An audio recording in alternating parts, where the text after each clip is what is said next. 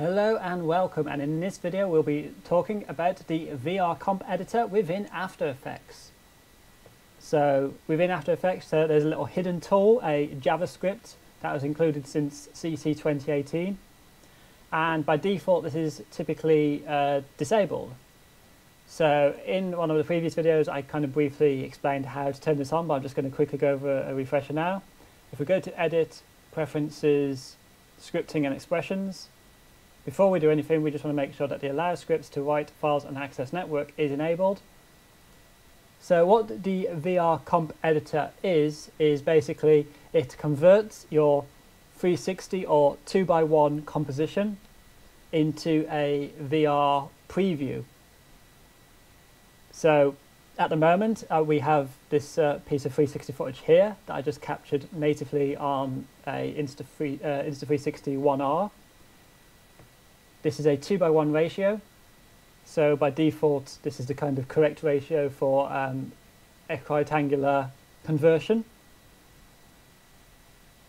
And as you can kind of see here, I have started adding elements. So I actually created a little composition here.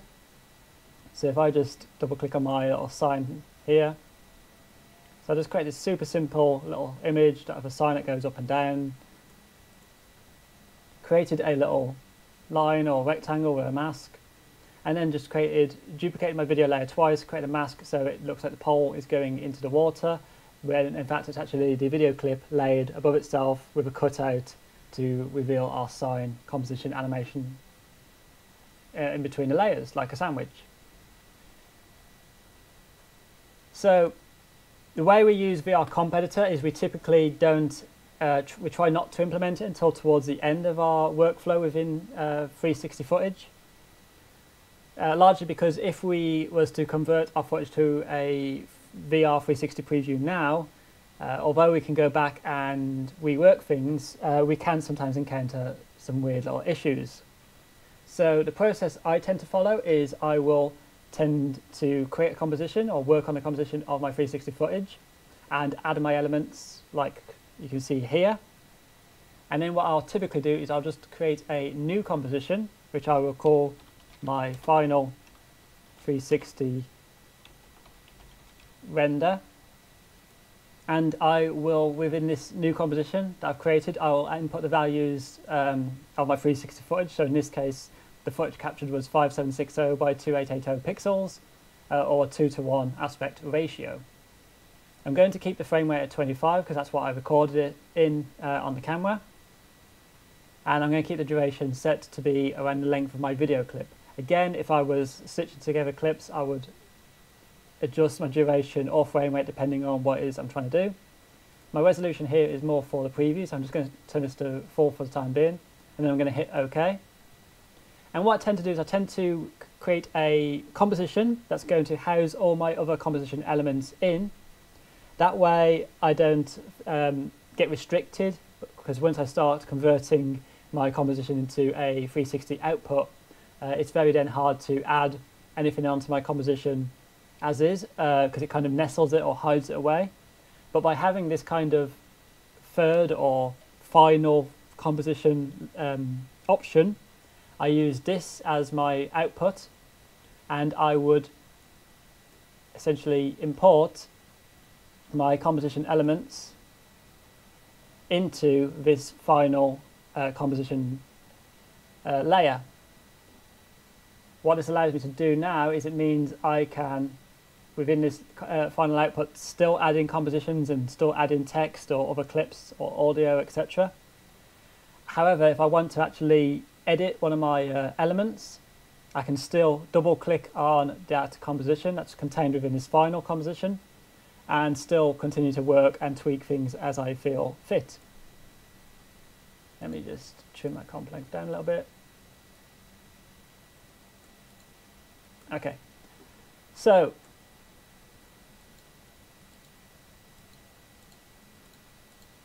now I have my uh, composition and let's say I was finished creating my VFX shot or finished creating my 360 footage or etc. In this case, I'm not going to add a super mount to it, but I could do sky replacements or add some text in, and again we'll look at individual elements and 2D and 3D tracking within After Effects in dedicated videos within this series.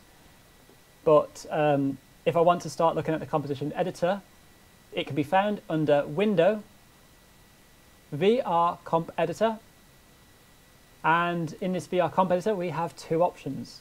We have the Add 2D Edit and the Add 3D Edit. So the 2D edit will be where we've got a static camera. We're not going to be housing any 3D tracking data. We're not going to have things kind of have the camera move into our footage. Now bearing in mind, even if your 360 camera is moving, uh, adding a 3D element on top to have a second camera and then moving out within it does not replace the footage that's filmed because the footage you filmed is still flat, so but wrapped within the sphere. All this adding an extra camera within the 3D edit would do is allow you to move the camera on the z-axis and it'll start to obviously as you start to zoom in start to pixelate if you uh, kind of get too close with the 360 footage because it's basically zooming in on the pixels. So because my footage here is quite static and there's not a lot of movement, I'm just going to keep to the 2D edit. We can now look at the 3D edit when we look at 3D tracking. But I'm just going to add a 2D edit and I'm going to make sure that I select my final composition that's going to house all my other 360 elements and nestle them all together within.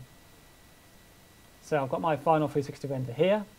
I'm going to keep the composition width to 1920 or, um, or aspect ratio 16 by 9.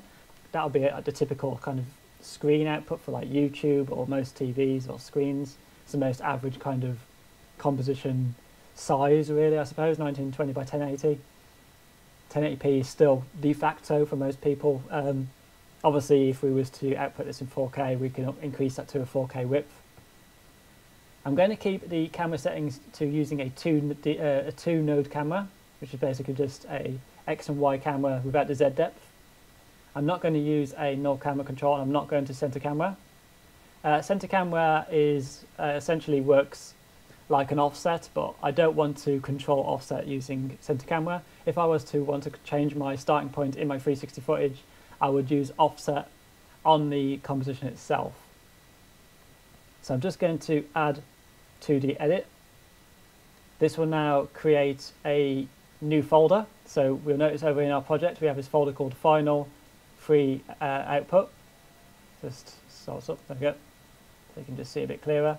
So we've got our final 360 render folder. Inside there is our VR Edit 1, our VR Edit 2, which will also open up down here, alongside this little support pre-comps folder here.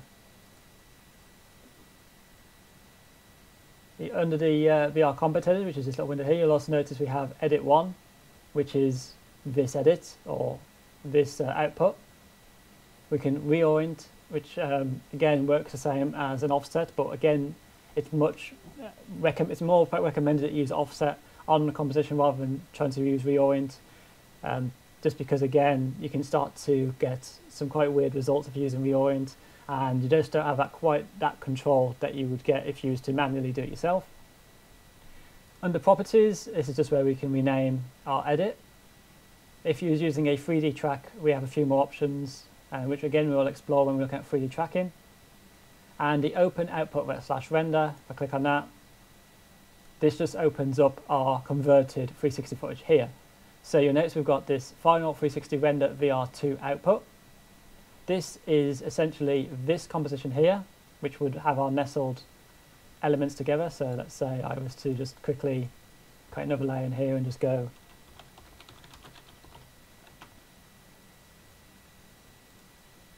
hello world and just move this somewhere over here, for example, and then go back to my VR2 output.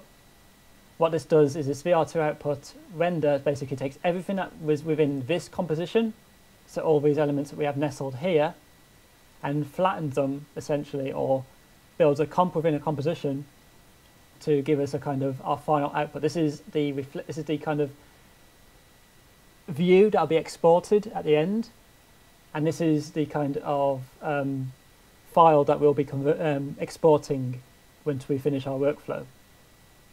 If we just go back over to the other uh, compositions created, which is the Final 360 Render VR2 Edit 1, you'll notice that this one here is 16 uh, uh, so 1920 by 1080. And it's basically give us the kind of center point of our view here. So the center of our camera is positioned here. You can see the Brayford Pool. You can see. So if we was to take like a 1920 by 1080 crop of this, that is what view we have here. However, this actually is not a static shot. This is actually our 360 footage wrapped around the sphere, but it's just giving us that kind of window glimpse. And the way I can tell that is if I press C to bring up my camera controls, I have this little option here where you can see a little like uh, planet with a little arrow orbit thing around it. Or if I go up to the top here and click on this camera here with an orbit around cursor tool, I can now click and hold and you'll notice I can move around my 360 footage. So this here is a kind of emulation of what it would look like on a VR player. So whether that's YouTube, Facebook or VR headset. So this is a good way of previewing whether your 360 composition or uh, kind of After Effect file, what it'll kind of look like in a VR device without exporting it at, at this point.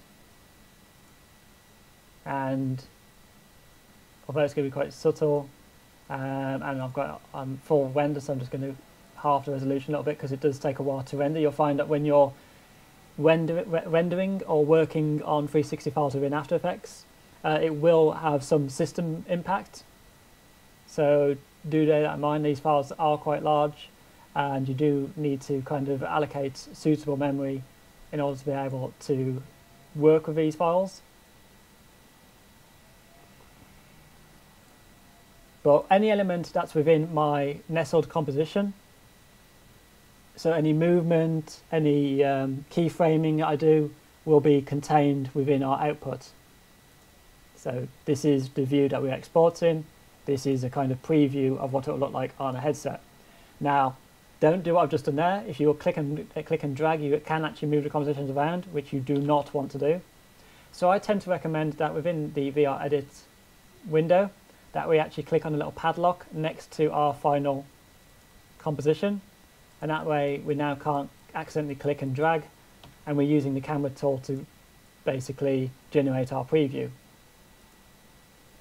Okay, so we'll be using the VR comp editor to work with our VFX shots within After Effects. We'll also be using it for our 2D tracking and 3D tracking. It's our preview tool.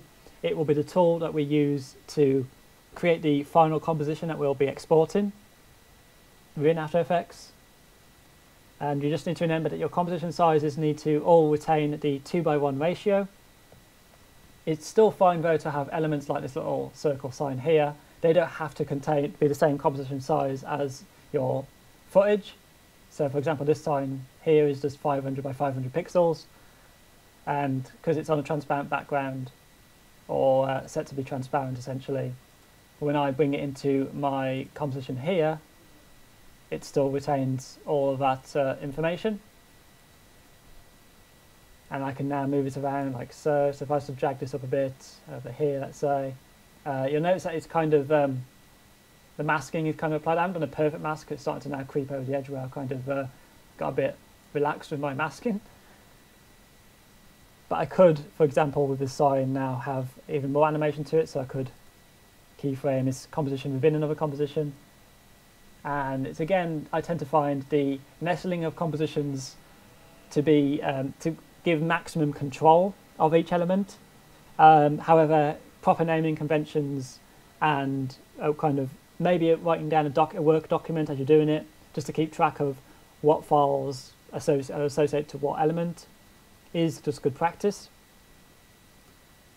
So the VR Comp Editor is the tool that we'll be using quite a bit. I'm not going to go through all of its uh, nuances in this video. This is just a kind of overview of the VR Comp Editor.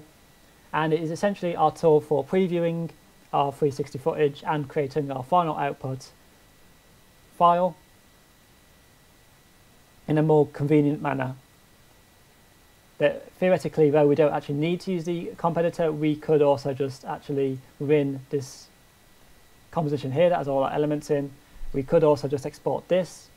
However, if we want to get a sense of what it would look like on a VR player, then we need to use a VR comp editor to allow us to access this kind of view.